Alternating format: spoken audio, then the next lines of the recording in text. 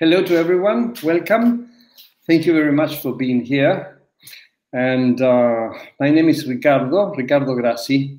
I'm uh, from Argentina. I was born in Argentina. I lived in, in Italy.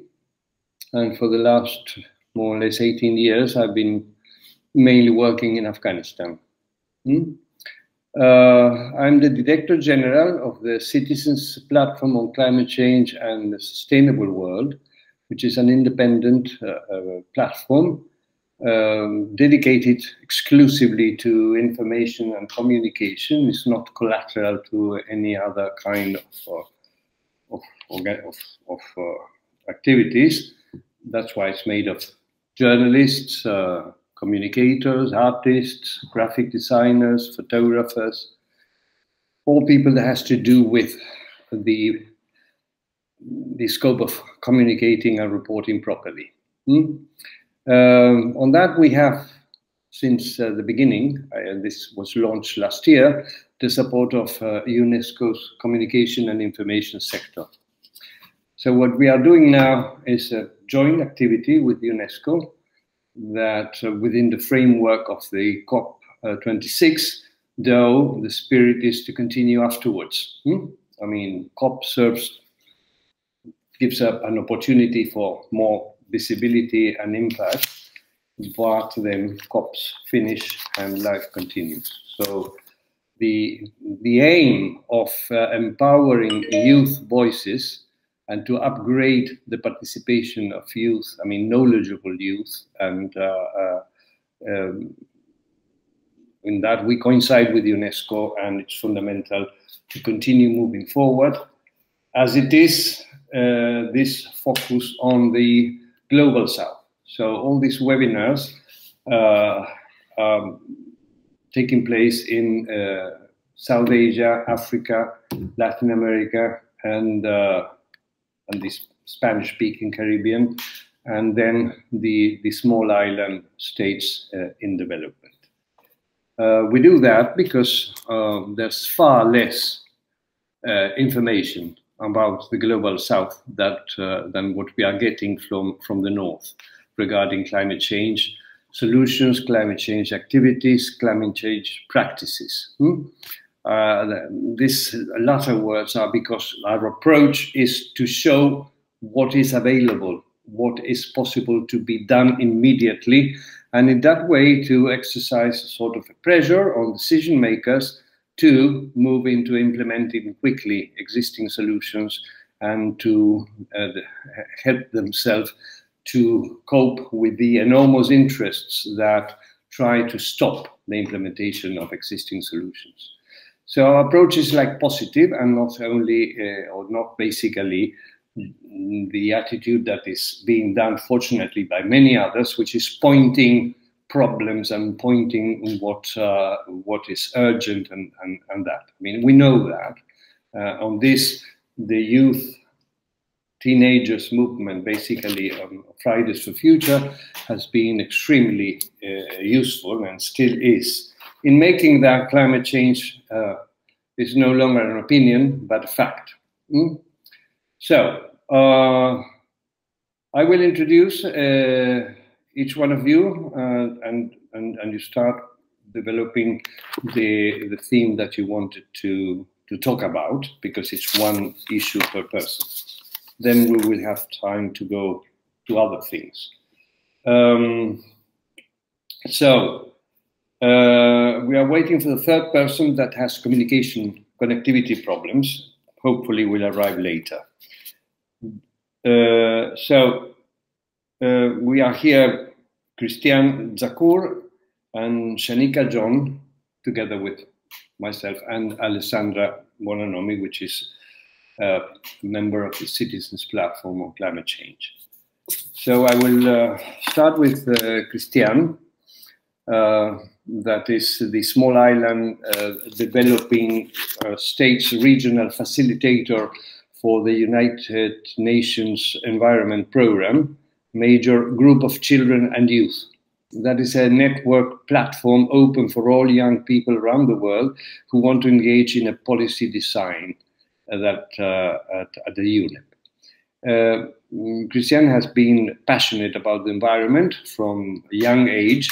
She pursued a bachelor's degree in environmental science and is currently undertaking her master in biodiversity conservation and sustainable development at the University of the West Indies and volunteers with several local NGOs. Christiane is passionate about environment, go, um, environmental governance and climate justice, and she's based in Tobago. So um, your topic of choice has been water and climate change, and please go ahead with it. Um, um, um, thank you. I'm just going to turn my headphones off because I'm getting feedback. I chose to speak on water because water is a key, um, a key component of our life in the Caribbean and in fact all over the world because it's so essential to our way of life. Um, it's an essential element of services which support poverty reduction, economic growth, and environmental sustainability. And to the entire world, it's pivotal to global food security as an integral resource sustaining agriculture, and it's critical to, to energy security and industrial development since it's used for cooling, power production, and related industrial technologies. Water availability is also integral to improving social well-being and equity and to fostering inclusive growth. Given its key role in the maintenance of environmental health, this resource is central to the growth and well-being of societies all around the world. Um, climate change is becoming a problem, and um, it's placing pressure on um, it's placing pressure on our drinking water supplies, our food production, property values, by these simple mechanisms of things like rising air temperatures, water evaporation. Um, storms and droughts can affect our groundwater, it can affect our above water supplies. It can cause saltwater, saltwater intrusion in our aquifers. It's very um, intrusive, I would say. In the islands in the Caribbean, it's anticipated to have major impacts on groundwater and surface water. In the case of groundwater, as I was saying, I just summarize, changing rainfall intensity due to climate change could reduce groundwater recharge during periods of heavy, extremely heavy rainfall, since much of this water dissipates through runoff. At the same time, drought conditions could also result in extreme water extraction from aquifers, both through use and surface evaporation, ultimately affecting both water availability and groundwater quality. In the case of surface water, climate change can induce high levels of evaporation from surface reservoirs, rapid runoff during heavy rainfall, and filtration to groundwater sources. In the governance sense, the Caribbean is facing challenges related to wastewater management and growing intersectoral water competition, as it struggles to provide improved housing and other public infrastructure while sustaining economic growth. With respect to public infrastructure, improved water distribution systems will be necessary to reduce the high level of water loss through leakage the management of wastewater as a water recycling strategy is also critical in this regard. Water use efficiency in the tourism sector will also require attention, given the implications for both financial and environmental sustainability for the region's most dynamic economic sector. Guests use a lot of water, and without a steady supply of fresh water, there is little opportunity for, for tourism growth, and resorts and hotels in the region also frequently have problems treating and discharging their wastewater without damaging the pristine beaches and ecosystems that draw tourists. As I've stated, water is one of the most fundamental components of human life on Earth. Access to water is a human right, and yet billions around the world are still faced with daily challenges accessing even the most basic of services. For us in the Caribbean, with our small island developing states, where climate, climate change related pressures such as drought and extreme weather compound the existing geographic, industrial, and in infrastructural pressures, water scarcity is a way of life that, cover, that colors several facets of our lives. Water demand is expected to increase by nearly 30% by 2050, mostly due to industrial development, thus creating an urgent need for innovations that can help supplement the dwindling volume of available freshwater in a sustainable and scalable fashion. People, like myself, are now stepping up to deal with the scarce resource in innovative and groundbreaking ways. According to the Global Water, Global Water Partnership Caribbean, Wastewater represents a large stock of untapped resources which, if treated and reused for secondary purposes, can lead to less reliance on freshwater resources and increased availability for storage. Poorly managed wastewater leads not only to loss of ecosystem services and economic opportunities, but also to climate change, through wastewater related emissions of methane and nitrous oxide, which have higher global warming potentials than carbon dioxide. There are also likely health impacts due to waterborne diseases, as well as the challenge of the spread of dead zones on our coastlines, impacting fisheries, livelihoods, and the food chain. On the other hand, well managed wastewater can yield many benefits, mostly for agriculture, because it's so full of nutrients. It's a source of water and nutrients that can be used for crop production, reducing the need for scarce fresh water and expensive fertilizers. Wastewater sludge can also be used to manufacture construction materials and to generate biogas and biofuel, thus providing opportunities for green jobs, sustainable development, and social well-being. So wastewater has a lot of potential as um as a value-added product. Over the past decade, moving on to desalination now, 68 new desalination plants have been built across the region, with a capacity of 782,000 cubic meters of purified water per day but it doesn't come without its challenges. The environmental risks re related to desalination plants are higher than we originally thought, the most obvious of which relates to huge amounts of energy. Tripping myself. The most obvious of which relates to huge amounts of energy consumption and damage to marine ecosystems, as well as through the production of toxic byproducts such as brine that are pumped back into the ocean. Another process that um, promise is atmospheric water generation. It's a process that extracts, filters, sterilizes, and stores water directly from vapor that exists in the air. It's a more environmentally sustainable alternative to desalination, and has generated a great deal of buzz in scientific and water circles, especially with respect to systems that are fueled by solar energy as opposed to fossil fuels. It results in significant savings in water, water supply costs, as well as national costs of treatment, transportation, and storage. The specific humidity of tropical environments is ideal for this process. It's been documented in Puerto Rico post Hurricane Maria, and um, there's a new facility being proposed for Grand Turk. Water saving mechanisms do not always come from large infrastructure projects. Rainwater harvesting is a long established and reliable technique of collecting rainwater for domestic use. It's currently being promoted across the Caribbean region as a key, low cost, and low technology water supply augmentation method. It's seen as a means to improve resilience to water, water related climate impacts at both national and community level. While it used to be prevalent in the past, there are only around 500,000 persons currently in the Caribbean who depend at least partially on RWH. The vast majority of the Caribbean's population depend on centralized pipe-borne municipal water water supplies derived from surface water, groundwater, or desalination. But given climate impacts, there is now a concerted effort to reintroduce the RWH culture in the Caribbean as one option to reduce water security concerns. In particular, it's seen as a viable means to augment existing water supplies after disaster events, when access to municipal water supplies may be disrupted. One of the challenges, main challenges, in mainstreaming this technique in the Caribbean is that it's considered an outdated practice, alongside the stigma of being practiced solely by low income groups. Regional organizations such as the Global Water Partnership Caribbean are trying to overcome this negative perception through the development and, and promotion of suitable knowledge products, including technical publications, videos, and models.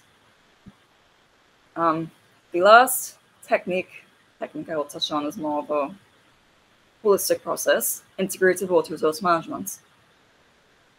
It's a process which promotes the coordinated development and management of water, land, and related resources in order to maximize economic and social welfare in an equitable manner without compromising the sustainability of vital ecosystems and the environment. Several Caribbean nations to date have developed or drafted IWRM roadmaps or action plans. With tourism being the dominant sector across the Caribbean, there's a lot of potential for IWRM and sustainable tourism, as took place in Jamaica. In Jamaica, um, let me just pull up my notes from this. Find. I think I deleted it. Basically, there are water water saving um, methods implemented, such as um, low pressure shower heads, and um, over time, there are actually returns of I think it was 961 US dollars per room. So it's ultimately very profitable and water saving. Small island states should be natural promoters of the concept of IWRM. In small islands, there is no upstream or downstream conflict since we are all downstream. The short flow distances to the sea and the economic role that the sea plays in our lives, both for recreation and for food, makes it imperative that we adopt an approach which is holistic. And that is the end of my presentation. I didn't bother with a snappy conclusion because we're going to be talking about this. Back to you. Good. Thank you very much. Tell me something, please. This uh, it seems that uh, the intervention that is taking place uh, counts on the citizens' initiative, but supported by uh, inter inter-regional organizations that are what intergovernmental, governmental, or or I mean this IWR that you mentioned. Uh, is it it's a, a governmental entity or uh, I would like to get a better idea and offer a better idea of the support that you are receiving to implement uh, solutions. I mean, financial supports and technical or advice or whatever. Hmm. This is just related to IWR. Hmm. Um, okay, so it seems to me like it's mainly a top-down process. It's being transmitted to the public by these centralized agencies like the GWPC. Hmm. Mm-hmm. And bottom top, uh, you, you you don't have or you don't know. I don't know. okay, okay. No, but it's very, very interesting. I mean, further on, I think it would be useful to uh, to convey this, to share this in details, no, because it's uh, useful, or at least that's our aim, to show ways of doing things, no. I mean, and so going into even in a didactic way and to see the problems faced, how were resolved, and so on. Hmm?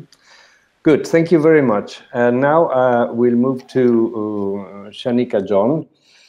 That uh, well, I I I did not receive your bio or your resume, so I will have to ask you to introduce yourself. I I know yes of your particular relation with uh, climate change uh, linked to health and uh, and, and stress. Uh, but uh, that's tell us more briefly, briefly about you and uh, the topic you will be talking about, please. Hmm? Good morning, everyone. My name is Shanika John, and I'm from the beautiful island of St. Vincent and the Grenadines. I am professionally employed with the Ministry of Health, Wellness, and the Environment in St. Vincent and the Grenadines as a health promotion specialist with specific responsibility for risk communication, dissemination of information, as well as during normal operation hours and even during an emergency at the national level. I am also one of the recent um, fellows for the climate change and health um, for collaboration with UWI and the EU funded. So I'm currently going through that process as one of the climate change and health fellow. And I am so happy to be here with you this morning. The area of focus that I'm going to talk about this morning is the integration of health in climate change. I think it's one of the most important areas that we should consider in the fight for climate change, and very often it is overlooked. So I hope that by the end of this presentation that I would have at least given you some insight to some of the things that you really should consider when talking about climate change. Very often we talk about climate change, whether in the developing countries or the small developing countries, and we tend to leave out some of the issues, key things that are directly related to health. I think at this point in, in our fight in climate change, it is clearly evident that health and climate change should be considered together. WHO has indicated that climate change has occurred since in the mid 1970s and could already account for annually over 150,000 deaths. About 500 of those are disability adjusted life years, mainly within those in the developing countries. This is also an area for concern, especially if most of those small developing states, this is our population. For example, in St. Vincent and the Grenadines, my population is estimated to be 110,000 people. And so this is very alarming when you start to see increase in number of deaths, specifically related to the effects of climate change, but more so having a, a health effect on the population. Whether we like it or not, whether we agree with it or not, the effects of climate change and natural or human made health stressors tend to affect our daily function. Even in our current situation in dealing with the COVID 19 pandemic, we have seen instances where the overwhelming concern of our health system and even within our population has caused significant triggers and stressors, resulting in overburn, resulting in deaths, and resulting in injury, and even in some cases, misplacement. The evidence has clearly shown as well that there's a growing threat as it relates to our public health measures where climate change are concerned. We talk about food, food security. Um, my colleague before spoke about water. Water security is also one of the major concerns, and the emerging and re-emerging of health diseases are also of a threat. Just a few years ago, last year, the Caribbean witnessed what is called to be the second wave in terms of the increasing number of dengue cases that was ever recorded. I know specifically for St. Vincent and the Grenadines, it's one of the most frightening experience where we started to see people actually losing their lives because of complications or associations with dengue fever, all of which are directly linked to a change in weather patterns, whether it's more rainfall, a peak in rainfall, or even whether it is an increase in drought that causes a breeding ground for mosquitoes, which then becomes this deadly disease. It is also increasingly important to note that vulnerability to these particular access to services, whether it's injury, diseases, mental health, food security, and water security, should also be included in the adaptation and mitigation measures associated with climate change. So I urge you, when you are considering and discussing your plans, whether it's a more resilient bridge or a more adaptable housing for persons, I ask you to specifically consider adapting more appropriate adaptation measures that meet your specific population that could not only increase their access and availability to healthcare, but also the inclusion of it for all. At this particular time, for each country, whether you're a developing country or you are also a small island developing state like myself, I ask that you start to integrate health into your climate, climate change measures, as this is very important. It makes no sense having a bridge that could withstand flooding, that could withstand natural disasters, if you have nobody to cross that bridge. Thank you. Thank you very much because it's been very clear, so so specific, so going to the point. Um, actually, I've been I've been reading and knowing about more things that I would like to read about uh, health, but more particularly on on uh, eco uh, and climate change uh, anxiety development. No, uh, which is a combination, depending on where you are, of of uh, objective uh, uh, factors that you that are affecting you directly, but also the the kind of information that is being delivered. I mean, a sort of information that creates anxiety because it's either confusing you or not offering you uh, ways for action. No, which is uh, the, so it generates a sort of okay feeling threatened and not uh, knowing what what to do. Hmm? And uh, there seems to be a paramount lack of leadership. Uh, mm, I mean, underlining this uh, as you have uh, done, uh, Shanika, I think it's it's very very important.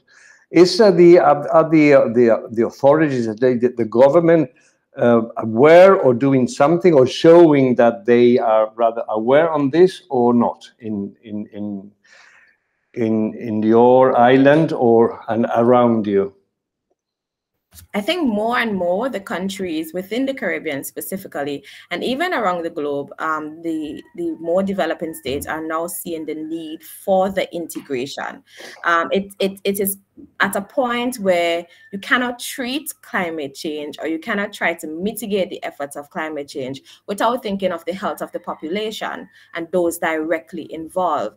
So even when you talk about flooding and you talk about if we're preparing for um, severe weather conditions, you then have to think about how does this particular mm. climate change event or activity affect the health of my population.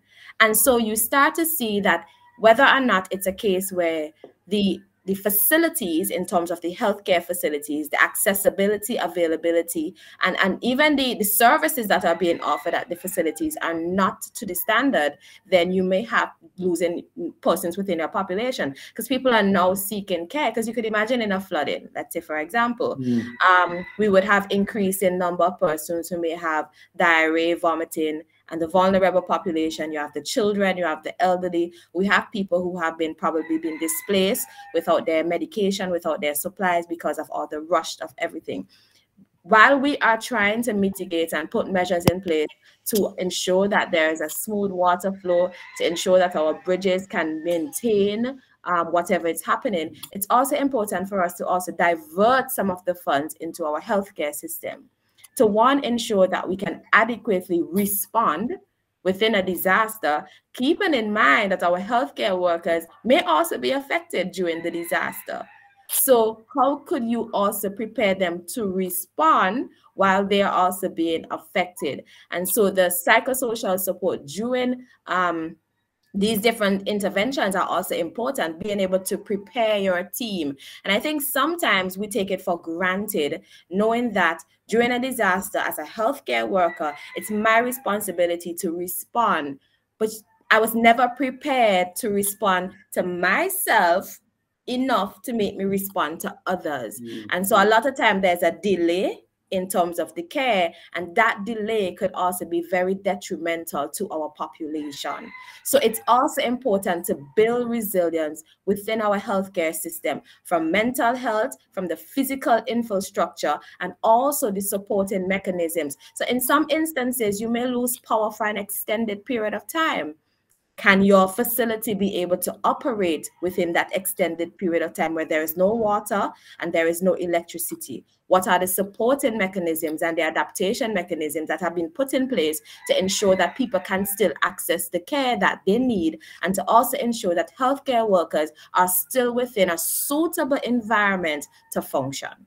Mm -hmm. Thank you. Yes, I was going to. I was going to ask you something also, uh, Christian, because I, I, I, was curious in the in in your topic. I mean, water. To to ask you if uh, apart from the, the problem of, of uh, water, the lack of water, then but then problems linked to water in itself, because there is that intersection. You can really see how climate change is a cross cross cutting issue because if you don't have water because of climate change, you can't wash your hands, you can't sanitize. And um, I also wanted to comment on you, Shanika, before I forget. Um, there is a huge stigma around mental health in the Caribbean. The idea being that if you have to seek help for something that you can't see, it means that you are inherently damaged. If you're going for therapy, it means there's something wrong with you. It's pretty rough. And so, even with that, the messaging has to be specific um, to sort of move people away from that. So it's not even about being able to seek care, but it's having systems in place that could not wait for people to tap in, but you tapping into them. So even with our healthcare workers and those particular persons within the vulnerable population, having a system or mechanisms in place where you could even send a reminder message, today is a new day.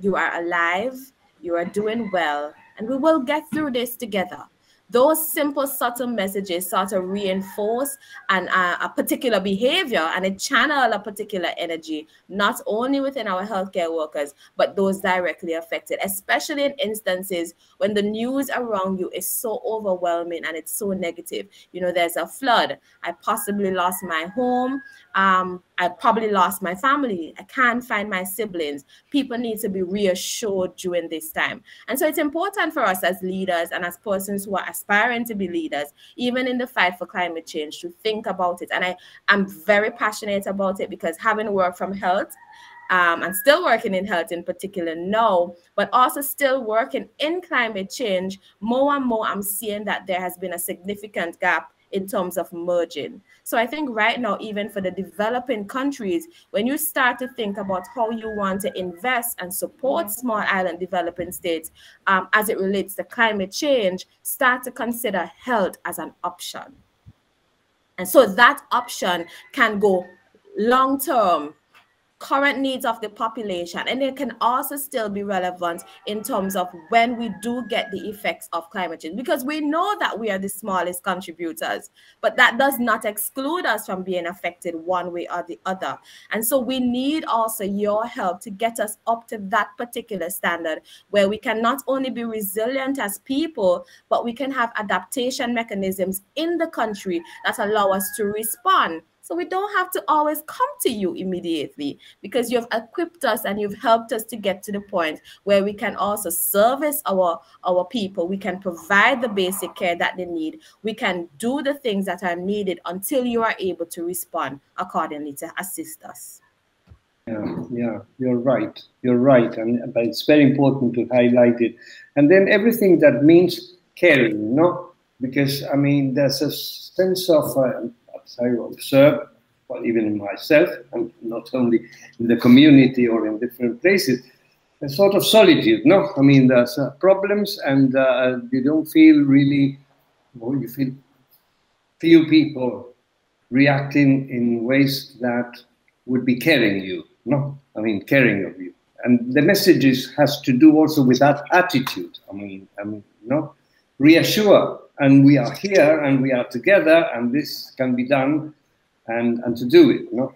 Uh, it's uh, yesterday we were discussing about this. It has to do with with uh, directly with my kind of activity, you know, as as a, as a, as a journalist or a, writer, is uh, uh, how you communicate. You know, I mean, choosing the words and then being very specific and very direct because otherwise you just create confusion mm? and the confusion mm, creates solitude because uh, i mean another day uh, this, this week i was listening to another discussion and there was an adult saying one of the problems today is that there are no grown-up persons telling youth what to do what they could do and so youth are trying to react, feeling that they have to say what is to be done because the, those that are supposed to be conducting don't know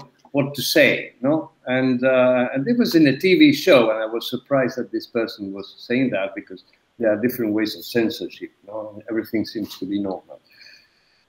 Good. I think yeah, that, I, I agree with you. And even um, in specific to the messaging for young people, um, I know sometimes it may be a bit overwhelming, especially in instances where you feel as if you do not have the national support or political um, will support in country. And political will doesn't necessarily have to mean government. It could be from ministries or sectors.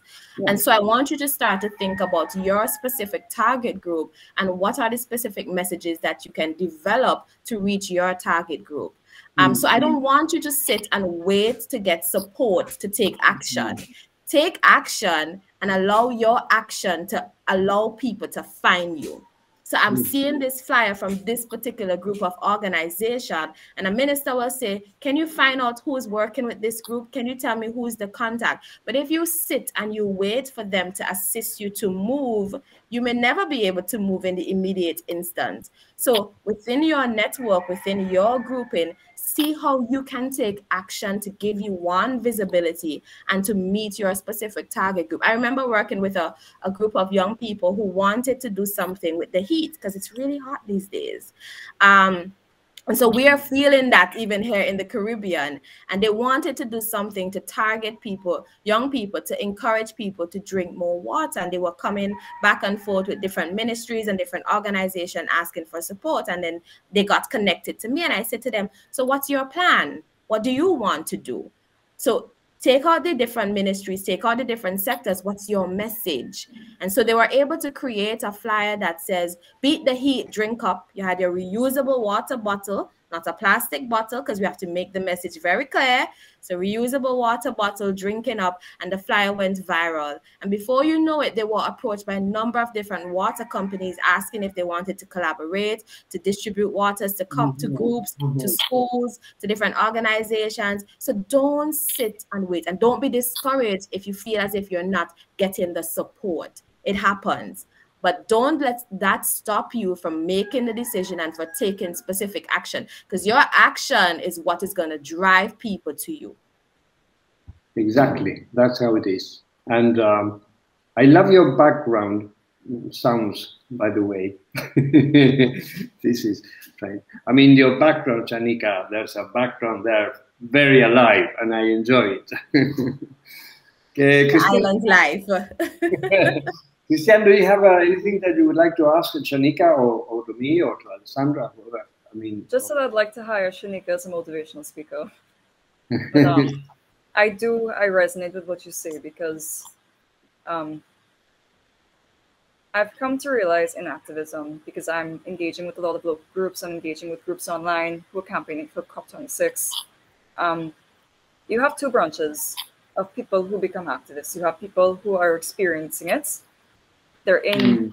free, they're experiencing themselves. And then you have people who go into it because they are academics or they're in science and they're seeing proof and they have evidence to show that something has to be done. And um, it seems to me that when you have people who are experiencing it, but they don't have the academic proof to back it up, and they try to make changes, mm. they are treated as lesser beings. They're put down because they don't know what they're talking about. They're not scientists. Mm-hmm.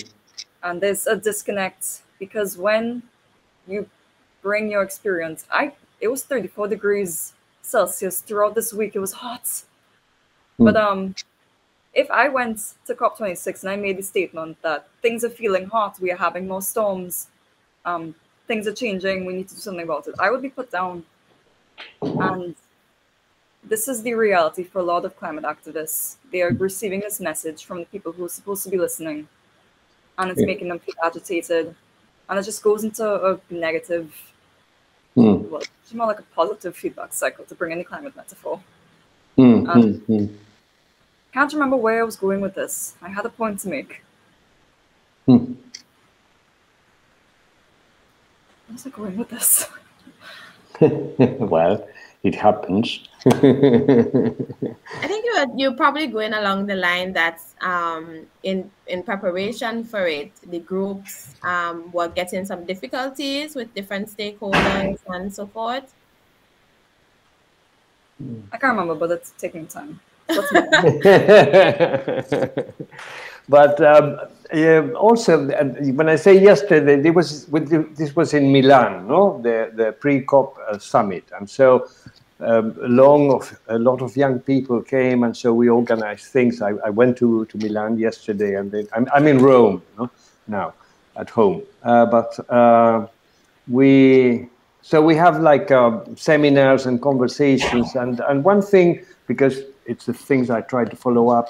And there's a fantastic, fantastic research that was delivered at the beginning of this year on on disinformation and fake news. No, and part of this, it's demonstrated in the research, includes uh, this depressing information, hmm?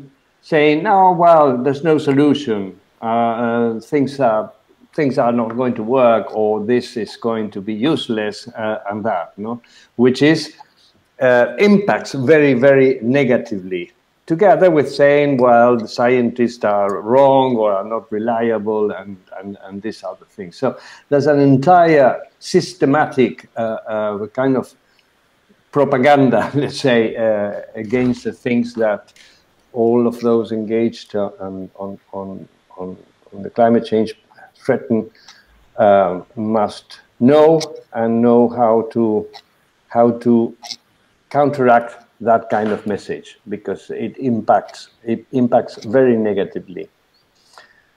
So um, I think we will have to continue this uh, more and more, and we will be organizing. Uh, unless you would have more things to to say and to add, I'm sorry that the other two that we were expecting were unable to connect, but uh, we will try to resolve it uh, and at least to to organize another webinar with those that have been missing. But uh, this one, I'm particularly happy because it's concrete, concise, and, and attractive, interesting. No? Uh, and we were able to, yeah, to talk among ourselves, which is very good. So thank you very much again, and uh, we will keep in contact and doing hopefully things together more and more. Goodbye.